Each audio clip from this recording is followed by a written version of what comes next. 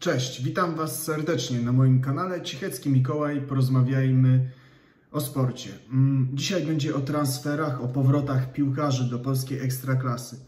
24 lutego mm, zamyka się okienko transferowe, więc zostało już tylko kilka dni. Ja jestem zdania, wolę zdecydowanie, jeśli do polskiej ekstraklasy wracają zawodnicy, wybitni reprezentanci, czy także e, Polacy, którzy kilka lat grali za granicą, wracają do naszej tej ekstraklasy, dodają kolorytu, wzmacniają. Czasem te takie transfery okazują się trafione, czasem nietrafione. E, to jest ryzyko, ale kibic piłkarski, fan polskiej ekstraklasy, może z takimi piłkarzami, e, którzy wrócili do polskiej ligi, utożsamiać się. Mm, no, przyznacie chyba mi rację, że lepiej jak tacy piłkarze wracają niż zawodnik z Serbii, ze Słowenii czy z Czech, Słowacji, tacy zawodnicy, mm, których nie znamy i którzy mogą się okazać wzmocnieniem, ewentualnie takim brzydko mówiąc nietransferowym niewypałem. I podoba mi się,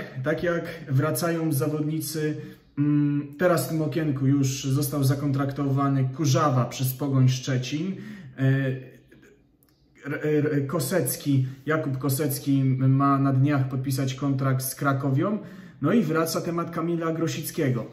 Ale przejdę teraz do takich jako przykłady. Legia Warszawa, Borut, Wszołek, Kapustka, Lewczuk, Wisła Kraków, Błaszczykowski, Wasilewski.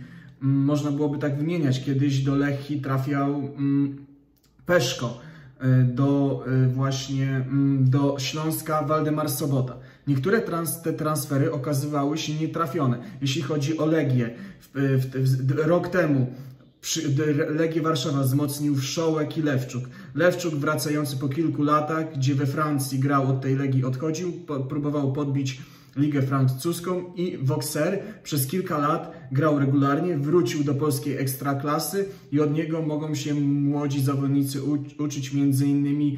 E, Witeska tego kunsztu piłkarskiego, czy inni zawodnicy z Akademii, czy młody Mosor może od Lewczoka wiele się nauczyć, a ten Lewczuk póki jeśli mu zdrowie dopisuje, jest ważnym ogniwem Legii Warszawa. Paweł Wszołek, który po sześciu latach, gdzie grał w barwach e, Sampdorii w lidze włoskiej, w Championship w barwach Queen's Park Rangers. Asystował po 6 latach jako wolny zawodnik, wrócił do, do polskiej ligi, do ekstraklasy, no i miał liczby w zeszłym sezonie, gole i asysty, dobra gra na skrzydle, e, przyczynił się do tego, że Legia zdobyła mistrzowski tytuł. Był jednym z ważnych elementów i w tym sezonie też ma 6 asyst, gole zdobywa i Legia teraz e, jest na drodze wróciła na miejsce lidera i może znów zdobyć mistrzowski tytuł. Niewykluczone, że po tym sezonie będzie chciał odejść i spróbować swoich sił za granicą. Przykład z tego sezonu Artur Boruc i Kapustka, którzy wracają do ligi. Artur Boruc po wielu latach y, gry na wysokim poziomie w lidze szkockiej, a także w lidze włoskiej, w lidze angielskiej wrócił do Polski, gdzie jest, jeśli mu zdrowie dopisuje, jest tym bramkarzem numer jeden. Kilka razy Legię uratował, jeśli chodzi o mm, punkty. Y, jest zawodnikiem, który jest takim kluczowym. Ostatnio mniej gra z uwagi na kontuzję pleców, ale właśnie został po to sprowadzony, żeby przy nim młodzi bramkarze Legii uczyli się tego bra bramkarskiego fachu i powoli młody yy, młodzieżowiec, bramkarz Legii Miszta uczy się od Boruca i godnie go zastępuje. Popełnia błędy, ale jest to wielki talent, jeżeli chodzi o tego bramkarza. Kapustka, który po kilku latach y, jako zawodnik, który mm, zadziwiał na Euro 2016, wrócił do Polski. Nie udała mu się ta przygoda mm, za granicą z uwagi na to, że kontuzje pokrzyżowały, odbił się od e, Leicester City, a także mm, nie udało mu się w Freiburgu. Potem kontuzję, wrócił do tej ekstraklasy, no i w tej ekstraklasie odbudowuje się, strzela gole, asyst, asystuje, gra coraz lepiej. E, moim zdaniem domniemam, że y, Paulo Souza wspominał Mm, na konferencji swojej, kiedy zostawał selekcjonerem, że z polskiej ligi obserwuje ośmiu e, piłkarzy. Domniemam, że właśnie e, Kapustka jest jednym z tych zawodników, na których Portugalczyk ma oko. Jeśli były zawodnik Krakowi dalej będzie prezentował taką formę, może do tej kadry wrócić i później za jakiś czas znów spróbować wyjechać za granicę. Przykład Wisły Kraków, e, Wasilewski, Błaszczykowski Wasilewski już zakończył karierę, ale gdy wrócił, był ważnym ogniwem w obronie e, krakowskiego klubu. Błaszczykowski e, powracający. No i właśnie tacy zawodnicy jak Boruc, Błaszczykowski, no i chciałbym, żeby Grosicki wrócił do ekstraklasy. Są jakby takim pod względem marketingowym, także poziomu, prezent, jaki prezentują, mm, elektronami napędowymi polską ekstraklasę. No i jako kibic wolę, jak tacy zawodnicy wracają, e, wybitni reprezentanci czy zawodnicy, którzy coś zdziałali za granicą, wracają do polskiej ligi, dalej mogą nas zachwycać swoją wysoką formą, a przy okazji yy, przy nich inni młodzi zawodnicy mogą się uczyć tego kunsztu piłkarskiego. Yy. I są też piłkarze, na razie na przykład Waldemar Sobota, który wrócił po wiecie, że w barwach Śląska Wrocław nie zachwyca, 16 spotkań rozegrał, dwie asysty, jeden, jeden gol. Po tym jak on pięknie grał w barwach San Pauli w drugiej Bundeslidze, był tam wiodącym piłkarzem, ale y, liczby za nim nie przemawiają, ale za to na przykład przy nim w tym Śląsku Wrocław, on wrócił do, do tego klubu, z którego, z którego odchodził podbijać ligi zagraniczne, odchodził do, pamiętacie, jak do, do Bryż y, odchodził, wrócił po kilku latach, może tymi liczbami nie, mm, nie przekonuje, ale na przykład przy nim młodzi zawodnicy Śląska Wrocław mogą się uczyć mm, wyciągać od niego cenę rady. I takie powroty są zdecydowanie lepsze niż miałby przyjść stary Słowak lub inny piłkarz e, z kraju sąsiedniego, na przykład jakiś e, Czech. Tu oczywiście mam na myśli piłkarzy takich, którzy mm, są, no nie są wzmocnieni, bo oczywiście jestem za tym, żeby do polskiej ligi przychodzili piłkarze tacy jak Petkart, który jest, y, ma liczby, strzela gole, y, prowadzi klasyfikacji strzelców, ale przede wszystkim mm, wolę jak wracają właśnie Polacy, którzy wiele lat coś osiągnęli za, y, za granicą. No i teraz w tym, e, w tym momencie, e, czy nawet e, Kucharczyk, który w Legii grał wiele lat, na tym poziomie ekstraklasy, spróbował sił w Rosji, ta Rosja go wypluła, nie dał rady, powrócił i w tej pogoni Szczecin asystuje, zdobywa gole, jest ważnym ogniwem, zdobywał mistrzostwa z Legią Warszawa, więc tacy zawodnicy w Pogoni Szczecin, gdzie są piłkarze, Pogoń no, nigdy nie zdobyła mistrzowskiego tytułu w historii, więc jeżeli w kadrze klubu ze Szczecina jest zawodnik Kucharczyk, który tych kilka mistrzostw z Legią zdobył plus puchary, grał w Lidze Mistrzów, to tacy zawodnicy są siłą i tą wiedzę y, y, piłkarską przy Kucharczyku może inny talent się tych jego pozytywnych cech piłkarskich nauczyć. Przejdę teraz do transferu, okienko, które się lada chwila zamyka. E, Rafał Kurzawa został, mm, podpisał dwójpółletni kontrakt z Pogonią Szczecin. Pamiętacie tego piłkarza, mm, Górnika Zabrze, nawet rozegrał 7 meczów w kadrze.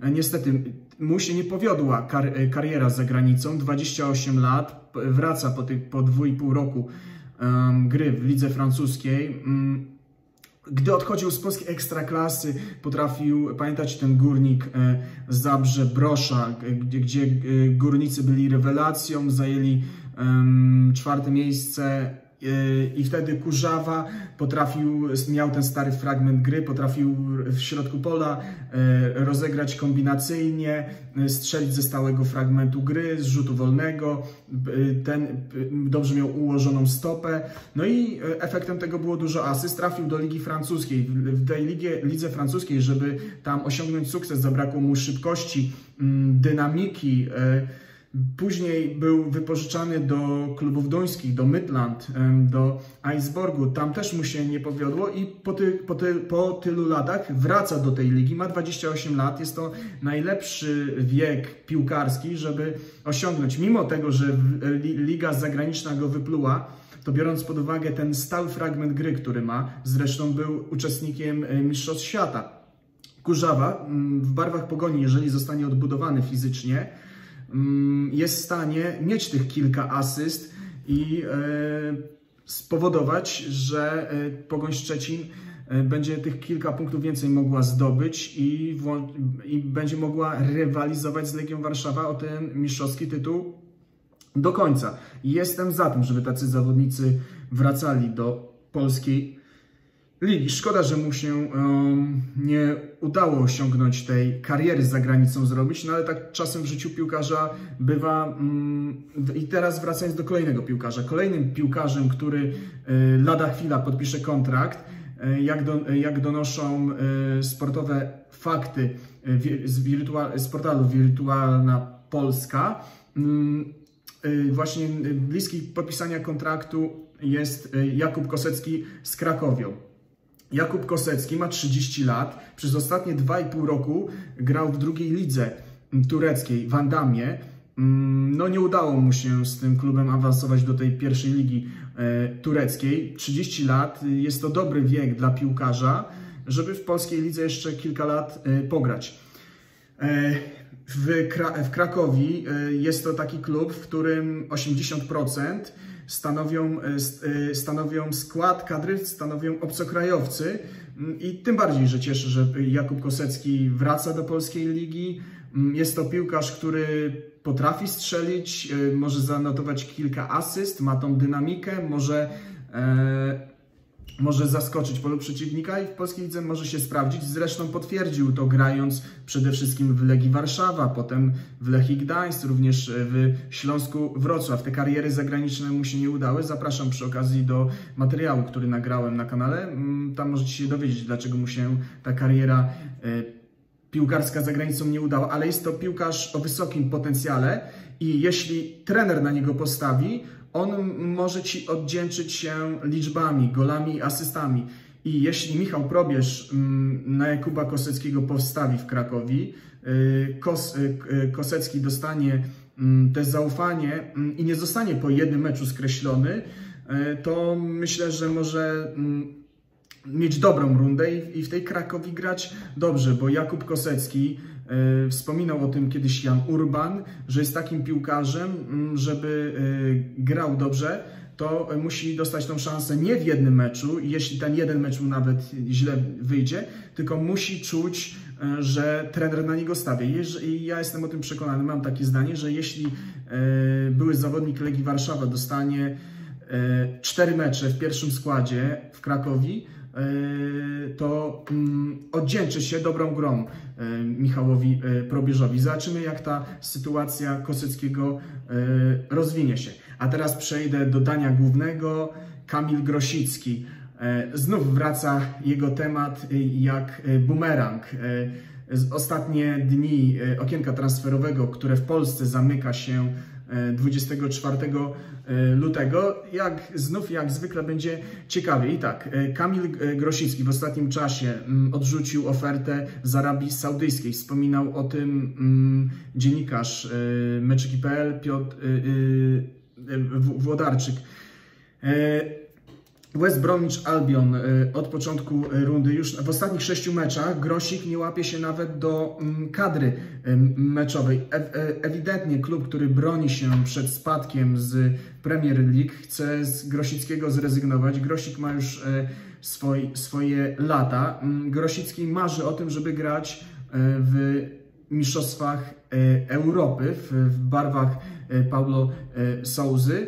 Mm, I już nawet mm, cały czas y, niedawno, jeszcze tydzień temu, y, menadżer y, w programie sportowym mm, Sport.pl, menadżer Grosickiego mówił o tym, że jakby temat pogoni i tego angażu w Legii Warszawa i Jagiellonii upadł, że nie ma szans, że Grosik chce West Bromwich zostać, żeby walczyć o tą pozycję, ale jak widzicie, sytuacja transferowa, kiedy okno y, jeszcze jest y, otwarte, to się często w życiu piłkarskim ta y, sytuacja zmienia, gdzie nawet prezes Pogoni mówił o tym, że mm, transfer nie jest realny.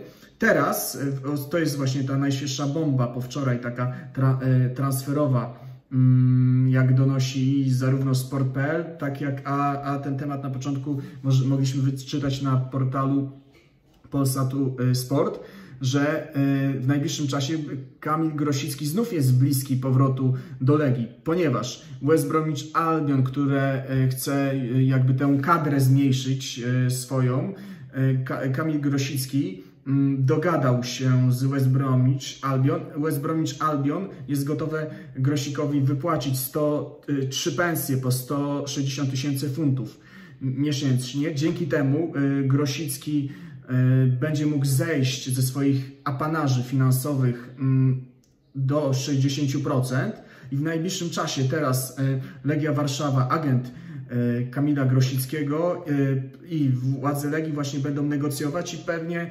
jutro, mm, najpóźniej do środy rozstrzygnie się, czy Kamil Grosicki wróci do Ekstraklasy i do Legii Warszawa, bo jak możemy się z, tam, z tego artykułu dowiedzieć, Kamil Grosicki jest zdecydowany na to, żeby wrócić do Polski, do Legii Warszawa.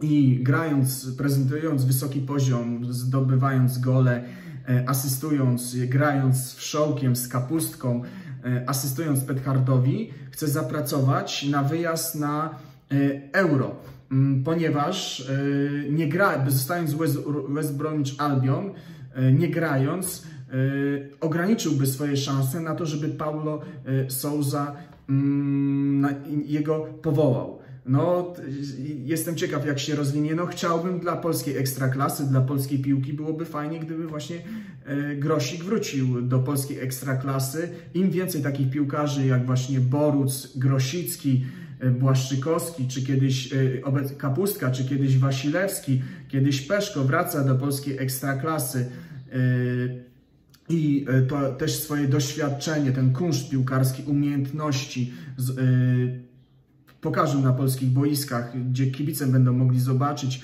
przy okazji do tego młodzi zawodnicy mogą się od nich uczyć, to tym fajniej dla, dla e, ekstraklasy. Wolę zdecydowanie takich zawodników niż piłkarzy tego typu. Pamiętacie, Eduardo trafił do Legii Warszawa, przyjechał na rok, skasował ładny kontrakt, wyróżnił się tylko tym, że miał jedną asystę, nawet gola nie strzelił i się leczył.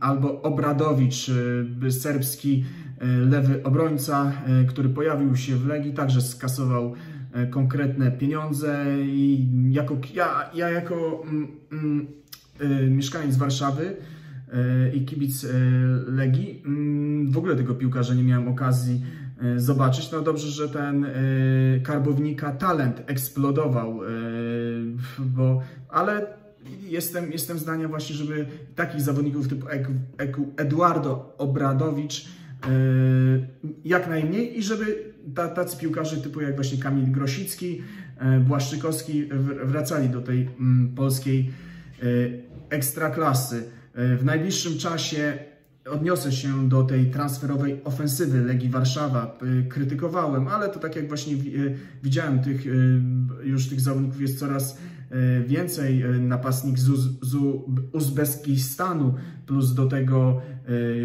trafiło dwóch zawodników z Ukrainy, z Dynama Kijów. Teraz już właśnie dziś podpisuje kontrakt e, Albańczyk, napastnik, który, może, który jest skrzydłowym, ale może grać jako e, napastnik. Jak już te okienko transferowe zamknie się w polskiej ekstraklasie, e, plus, plus do tego i już będziemy wtedy wiedzieli, czy Kamil Grosicki podpisał kontrakt, czy nie, to podsumuję dla Was tą ofensywę transferową Legii Warszawa i co o tym myślę. E, a jakiego wy jesteście zdania? Czy, jest, czy podoba się wam to, że do polskiej ekstraklasy wraca Rafał Kurzawa, Jakub Kosecki, być może Kamil Grosicki wróci na początku okienka transferowego. Wrócił także były obrońca e, e, Sampdorii Milanu, e, były reprezentant Polski, który teraz jest środkowym obrońcą Lecha Poznań. E, no, oby więcej takich zawodników, tych właśnie byłych reprezentantów wracało do polskiej ekstraklasy i tą ligę e, wzmacniało, bo mm, kibice, jedno jest pewne, kibice będą utożsamiać się z, z zawodnikami, z, z, wychowankami e, swojego klubu, ale także z byłymi reprezentantami Polski. No, zawsze ten kibic będzie, Wiśle Kraków będzie chciał iść na mecz piłkarski na, dla Błaszczykowskiego, dla Boruca na Legii, czy, czy tak jak kiedyś chodziło się, czy na Waldemara Sobotę e, w Śląsku e, Wrocław. E, ja zawsze będąc kibicem, mm, kiedyś w historii jeszcze jak Piotr Świerczewski wracał do Ekstraklasy, Tomasz Iwan, jak bracia Żywłaków wracali, to zawsze cieszyłem się, że mm, czy Jerzy Brzęczyk, Tomasz Haj, to Tomasz Kłos i można byłoby tak wymieniać piłkarzy z kadry Engela, kiedyś Dziekanowski, Roman Kosecki, no, Dariusz Kubicki, no można byłoby tak wymieniać piłkarzy byłych reprezentantów Polski, którzy e, grali za granicą, a potem po wielu latach wracali do tej ligi. Później jest inna sprawa, że mm, niektórzy ci zawodnicy, którzy osiągnęli sukcesy za granicą, wracają do polskiej ligi i nie sprawdzają się. No, zdarzają się takie mm, wyjątki.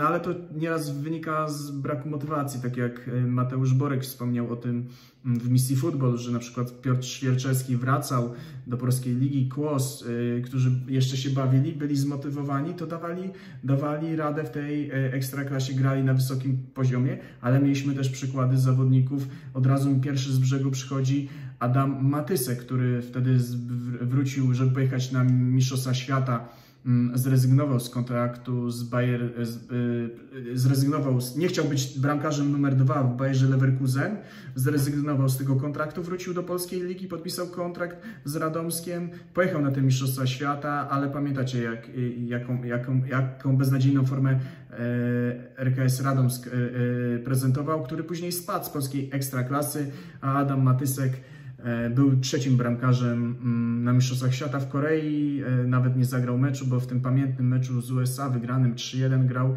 Radosław Majdan.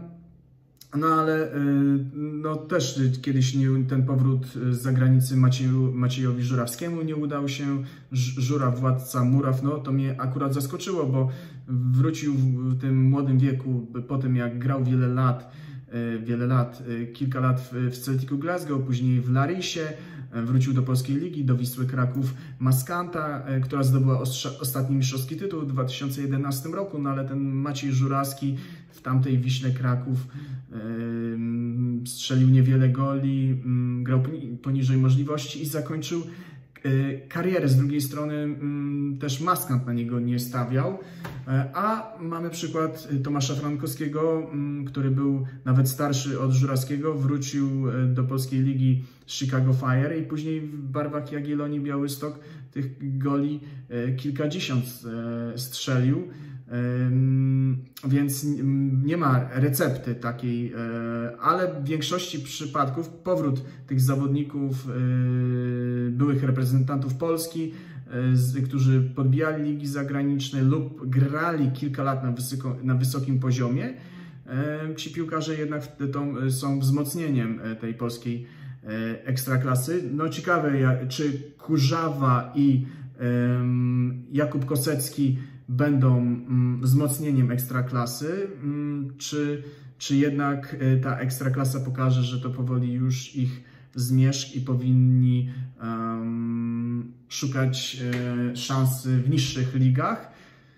Myślę, że jednak nie, bo są w takim wieku 28 lat, 30 lat, to to jest taki wiek, że jeśli kontuzje nie pokrzyżują planów, to oni w tej ekstraklasie jednak są w stanie strzelać e, gole, asystować. A jeżeli chodzi o Kamila Grosickiego, biorąc pod uwagę jego w ogóle tą karierę całą, grę w Championship, w, e, także w lidze francuskiej, tureckiej, no to Gro, Grosik dla mnie pan piłkarz, który w tej ekstraklasie może się bawić. No, jeśli on trafi do Legii, no to na skrzydle mm, z Wszołkiem e, albo z Kapustką, no to byli reprezentanci, zawodnicy Wszołek, Kapustka, e, Grosicki, e, byli obecni reprezentanci, którzy, którzy mogą e, konkurować o miejsce w kadrze. No, Zobaczymy. No, nie, nie mogę się doczekać e, końca tego okienka transferowego, jak się ta sprawa z Grosickim e, rozwinie. Mm, zachęcam Was także do, oprócz, e, do, zobaczcie moje starsze materiały, ten o e, Jakubie Koseckim, o którym opowiadałem, dlaczego nie zrobił kariery e, za granicą, bo jednak w polskiej lidze dużo wygrał. E, także zachęcam do materiału o o, o Grosiku, y, w, w, którym właśnie wtedy y, też także analizuję jego perypetie transferowe. Więcej tam mówię o, mm, o walce jego, y, o walce o miejsce w kadrze na Euro i dlaczego w West Bromwich mu się nie udało. Zachęcam Was do obejrzenia tych materiałów. Pamiętajcie moi drodzy o łapkach do góry, o dzwoneczku, o, o dzwoneczkach, o subach. Tyle. Dziękuję za uwagę. Trzymajcie się gorąco. Mm, do zobaczenia wkrótce. Hej!